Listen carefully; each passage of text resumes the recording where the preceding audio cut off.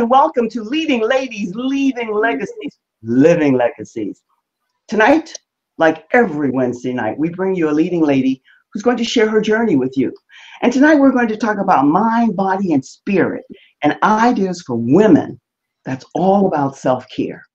Our guest tonight, Shira Sledziewski, love her name, have an issue with it. I'm going to ask her to pronounce it for you. But I want you to tune in to all of this information, tips and tools that she's going to share with her, us about her journey, what she's about, why she loves what she's doing.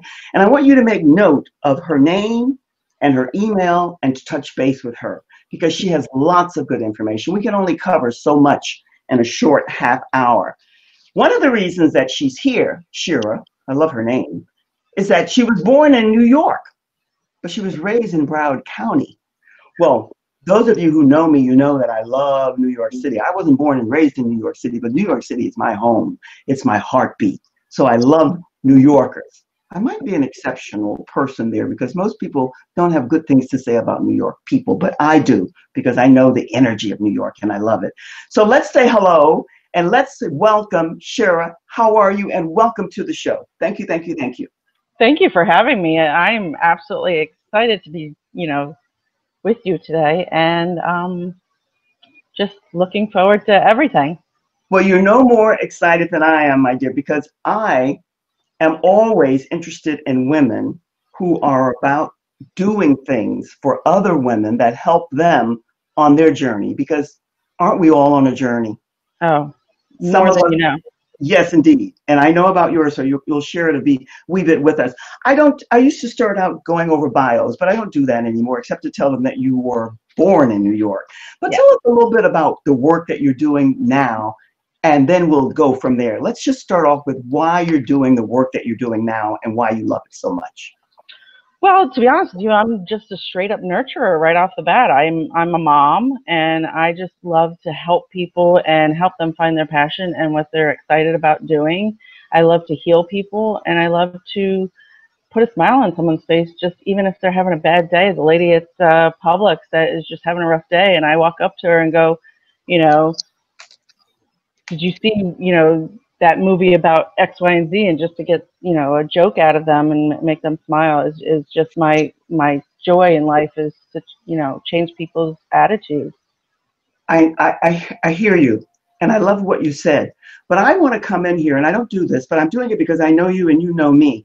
And I have heard this too many times. And I know that you're all about self care, and I know you have three beautiful, gifted, talented kids. I know. We'll speak a little bit about that. But you know what you said, Shira? And by the way, I want you to pr- pronounce your last name for us. I think I did a good job, but make sure. Sledziewski. Sledziewski. I love that. One of the things that you have said tonight, and I've heard several other women say it who come on this show, is I'm just a mother. I'm just a housewife. Oh no. You you're not just. You're much more. Yeah. Much, much more. Because I think to be a mother and a housewife is probably the biggest and gravest responsibility that we all have in life. Yeah. Definitely. And that that molding a mind and a body and a spirit and the essence of a person is better than any corporate CEO, CFO could ever be. Now tell us a little bit more about how you came to do what you're doing and why you love it. Well, I've always my background of my parents was my mom was a nurse. So I love the idea of taking care of people. I love the idea of if somebody doesn't have a resource, I love to find that resource for them. So it was a natural uh, progression for me to go into massage therapy because it's all about making the body feel better. Yes. And where I've come about now is connecting the mind body all in one. Yes. I love it. I love it because I don't care where we are at our station in life, we all need to balance out our mind, body, and spirit. And right. to, you know what, for me, Shira, at this stage in time in my life, uh, with my husband's health not being what it should, I realize how I always knew, but I realize more than ever how important your health is. Take yeah. care of your body, your mind, your body, your yeah. spirit and that's what you're doing. Now, did you? I heard you say your mother was a nurse, and you have you're a massage therapist now. Yeah. Were, did you did you come to this because you are a nurturer and you just liked it and you found that you you liked working with the body? How how because something motivated you to start doing that? Well, I think in in high school I had looked uh, you know looked into the path of being a physical therapist, and Ah. to go along that path is almost as much schooling as a, as a physician. And then um, I looked into massage therapy, and six months sounded a lot better than six years. And it was physical therapy was was healing, but not as much as I like to touch. So um, the healing touch is more of what interested me, and the energy that is put into into the healing through your hands was more intriguing to me than just medicine.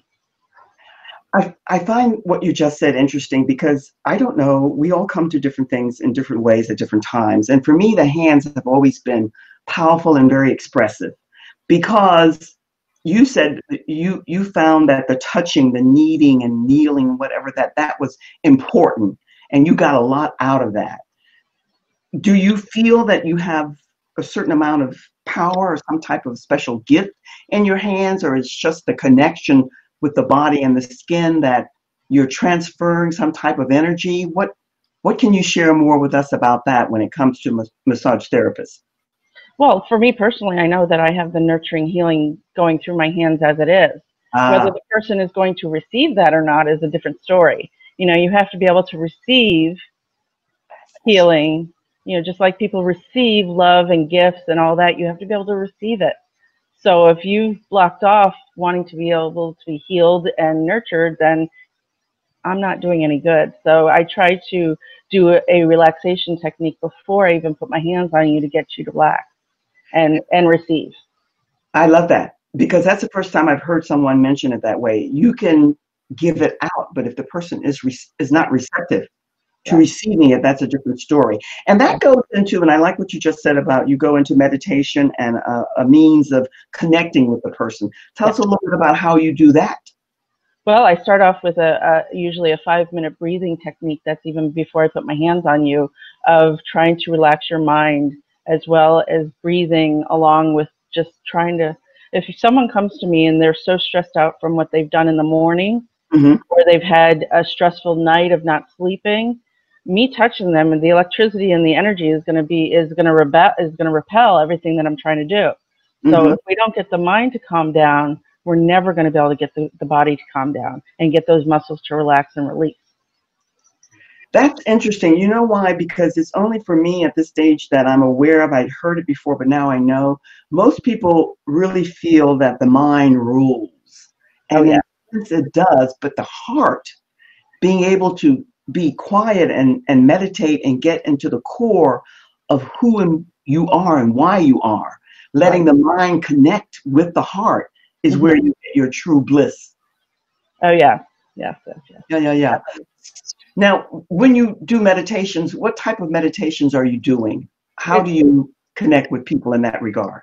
Well, it's a guided meditation where it's it's an actual audio that is guiding you through a whether it's a beach scene or, or a calming kind of thing, and it's a voice activated kind of scenario where really all your eyes are closed. So once you take away your sight, your hearing intensifies. So that is, and alone, you know, whether it's the sound of oceans with the voice taking you, uh, you know, a stroll down the beach or something like that, of just five minutes of deep breathing, you know, only being conscious about your breath. You can't think about anything else when you've got your, you know, your heightened uh, hearing going. Hmm. How do you get someone who is so tight and so stressed that they can't receive and be receptive? How do you work with that type of persona, that personality? Because that person is more dire in need of your services Oh, absolutely. Than someone else, and yet they're not, they're there, but they can't open to you.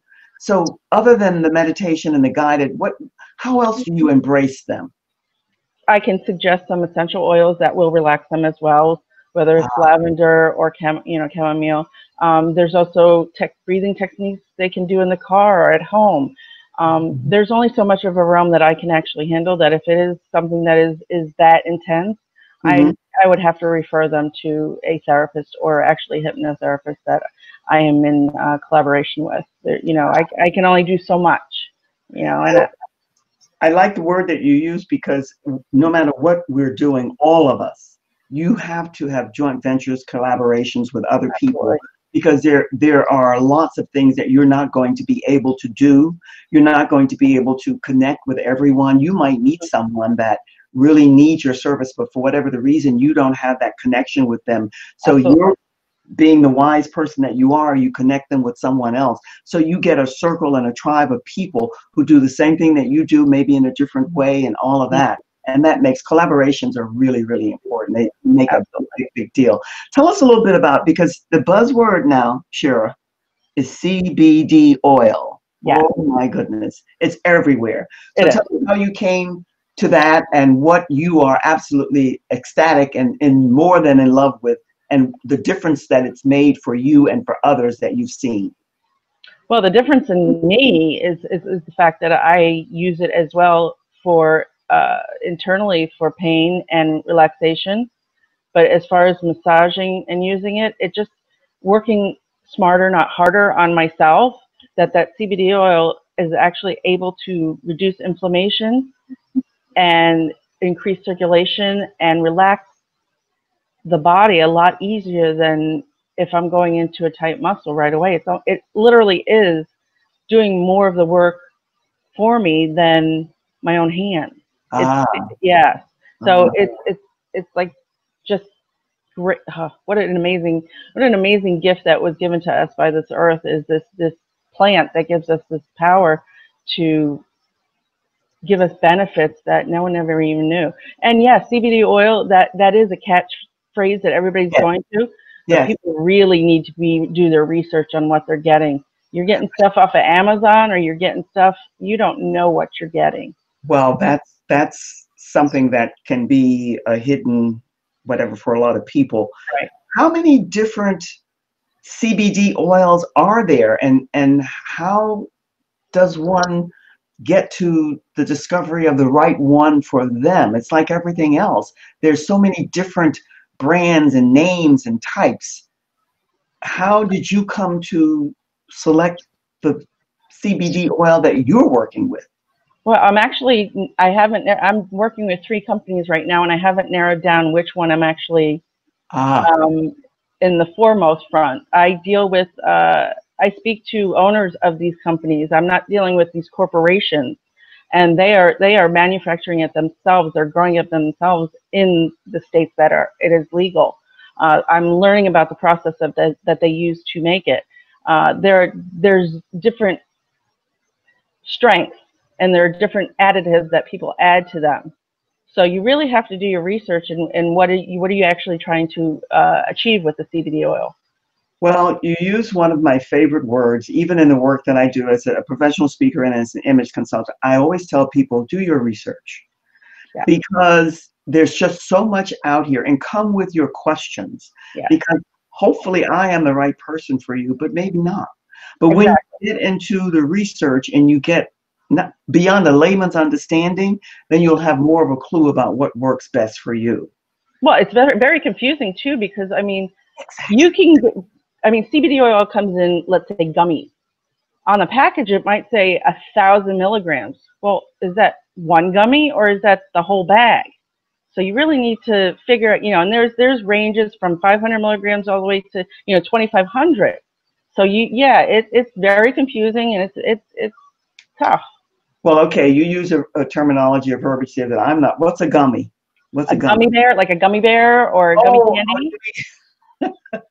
you mean it comes in so many different varieties? So many Yeah. different. Ah, You okay. can, yeah. I mean, you literally can take uh, CBD oil itself and make your own cookies or make. And the, what the thing people don't know about CBD oil is it's there's CBD oil and there's also THC. THC is the medical marijuana component that gives you the body high and the euphoric feeling. CBD does not do any of that. It just relaxes and reduces inflammation. You're not going to get high. You're just going to take the benefits of the part of the flower.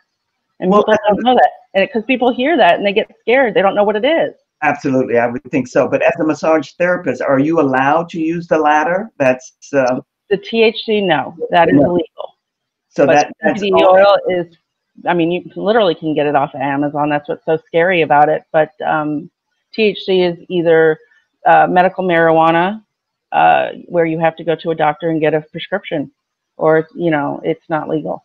How were you introduced to? You are a massage therapist, so who brought the who brought the CBD oil to you, and how were you initially introduced to it, and and what got? I mean, you saw the results obviously, but how did you get enthused and excited over it and what it does?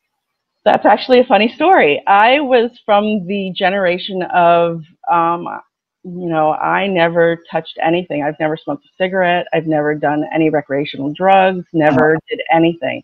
I was, I guess, a goody goody. I don't know. But I was in Vegas a couple years back, and marijuana is legal there.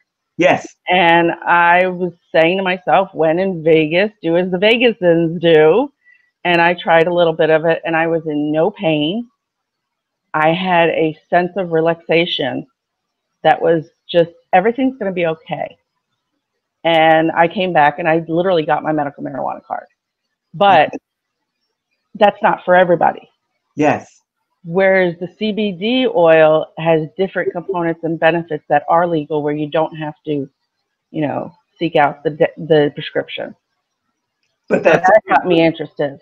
Well, that's a good story, and that's a good way of sharing with people uh, the way that you did it and the way that you're expressing that your entry into the discovery and what it did for you. Because I think all of us are looking for the Holy Grail.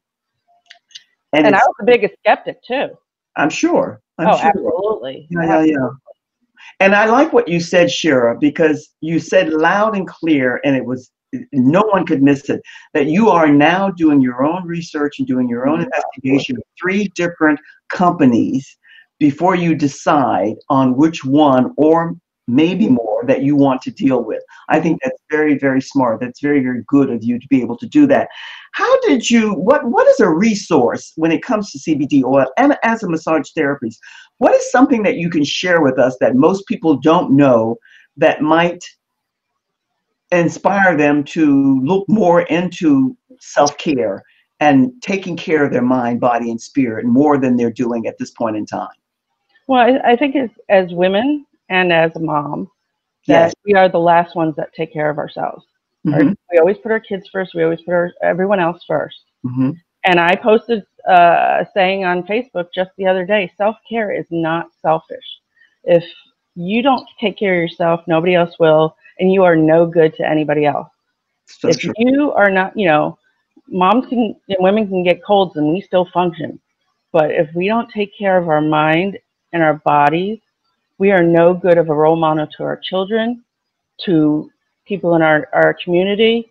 So we really need to take care of ourselves, whether it's, you know, getting a massage, getting a pedicure, getting a haircut, yeah, taking yeah. yourself and putting your feet in the sand of the ocean. Something so, so simple. I so, oh, I don't have the five minutes. I don't have this. Yeah, but your your spouse can take a Sunday and watch four hours of football. Yes, yes. Let me ask you this, because I first off, I without question realize the value of a good massage therapist and what you do. Is there any kind of a, a package or a plan, or do you have do you ask people to come to you at least one to three times before they make a final decision? How do you work with, do you, how do you engage people to come back to you more often so they get the full benefits of what you're offering them? Well, first of all, I am strictly a, a mobile uh, massage therapist. I come to you. Okay. And I strictly are on a either I know you or someone's referred you to me. I don't want to deal with anybody that is a stranger. So um, the first initial visit is is that consultation of what are you looking to get out of this? And if it's a one-time fix that's that you know if you haven't if your lifestyle is what's got your muscles all tense and, and and your mind all tense then we need to look at your lifestyle and see what it is that is making you so tense.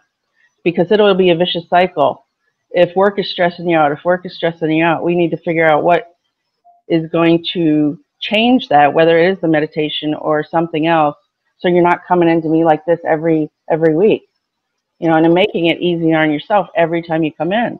You know, it shouldn't shouldn't be like that. No, by no means. Let me ask you this, and I don't know if you have an answer, but I ask anyway. We know that all of us have different issues and concerns that we deal with daily, weekly, monthly, whatever. What are the three main, if you can categorize them, reasons that people go to a massage therapist outside of the la la kind of stuff? What are three main reasons that someone would come and want a, a session with someone like you? Well, first of all, if they've been injured or had a muscle strain. Ah, muscle strain. You know, mm-hmm. injured will send you, you know, first of all, most of the people will just run to a doctor to get a pain med, whereas this is actually, you know, a pain med is only a band aid. You know, mm-hmm. a cramp in a muscle, you need to work it out. You can't just take a pain med and have it go away. You mm-hmm. know, that doesn't get out by itself. Right. That is just, you know, one of the, you know, you get someone that's a, a pro athlete or even just a swimmer just keeping those muscles loose are actually going to make perform better. Yes. And be more effective. Mm-hmm. The one hour to yourself is the biggest benefit of all. If you've got kids, if you're working full time, that one hour to yourself of being able to just relax of nothing but you is is worth every you know there's not a glass of wine that can do that for you. I agree. I, I completely agree from sessions that I've had. Let me ask you, you mentioned joint ventures, and not so much, but collaborations. Do you or are you working closely with chiropractors? I would think that there would be a good tie-in for you there.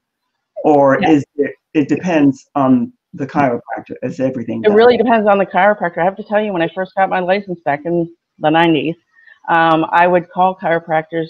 I was young, so I was looking for a job. And I said, do you use massage therapy before you do adjustments? They're like, no, why would we do that? I'm like, well, if the muscles are tight and they're, that's what's pulling the spine out of, out of alignment, why would you not work the muscles and relax them? He just said, hmm, I never thought of that. And I was like, this is a, a chiropractic physician learning something from 19 year old me saying, if the muscles are torquing the bone out of alignment, you need to relax them on a, on a daily basis, you know, on a weekly basis. Yes. So um, working with chiropractors, I, I found is, you know, they're either old school and don't believe in it, or they're definitely fully on board. Yeah, I, I can connect and relate to that. And I say this because for numerous reasons. My schooling, my background, uh, doctors were gods, no longer.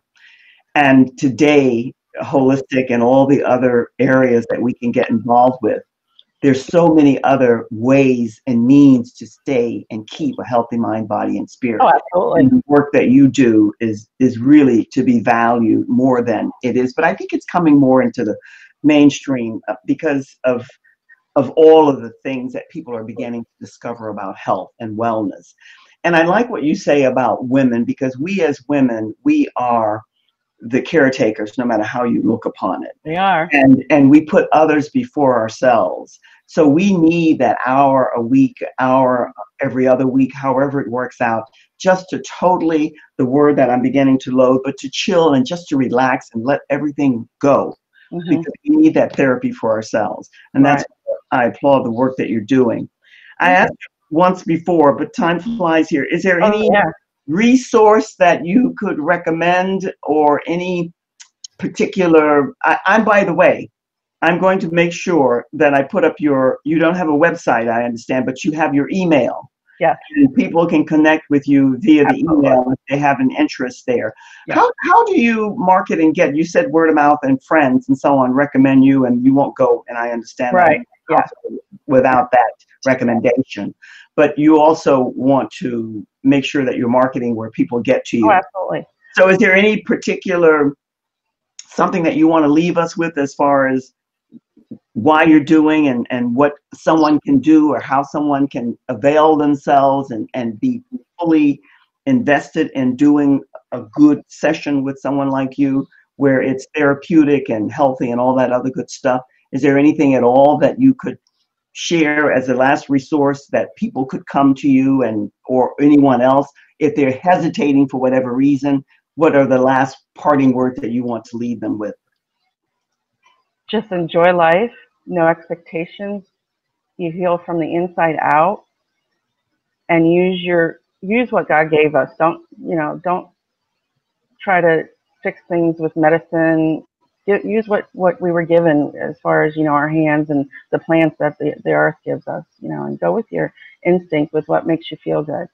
Yeah i like that. I like that. And i like what you said at the very beginning too because i do believe that hands are a healing source. Mm-hmm. and i think energy emanates through and uh, through the hands. Mm-hmm. and a good massage therapist and any other work where the hands are used, I think that can be very vital and very useful.